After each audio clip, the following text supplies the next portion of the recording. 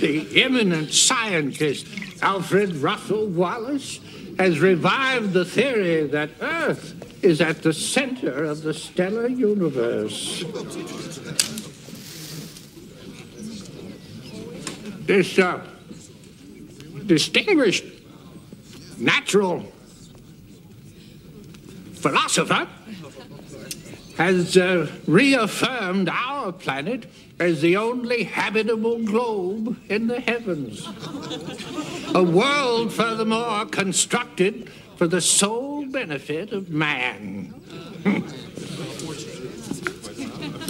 He's got a lot of folks excited about the notion.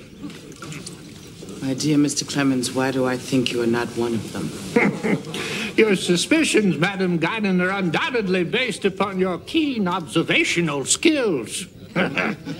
now, if you'll permit me, I'll continue my character assassination unimpeded. My dear Mr. Clemens, please do. Please do.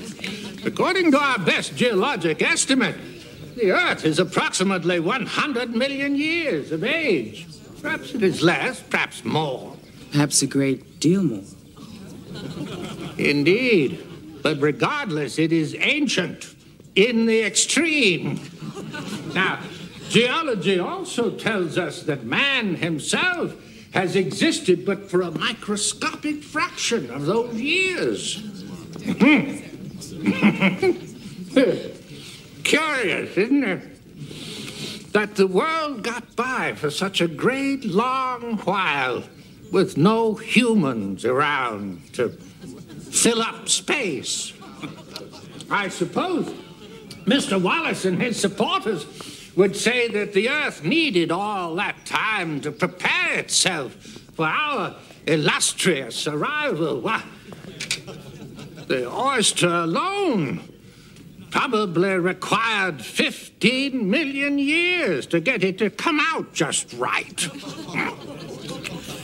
But if the Earth is not alone and there are millions of inhabited planets in the heavens. Quite my point. Man becomes a trivial creation, does he not? Lost in the vastness of the cosmic prairie, adrift on the deep ocean of time a single one amongst countless others. Some may argue that a diamond is still a diamond, even if it is one amongst millions. It still shines as brightly. Someone might say that, dear lady, if someone thought that the human race was akin to a precious jewel. But this uh, increasingly hypothetical someone would not be me.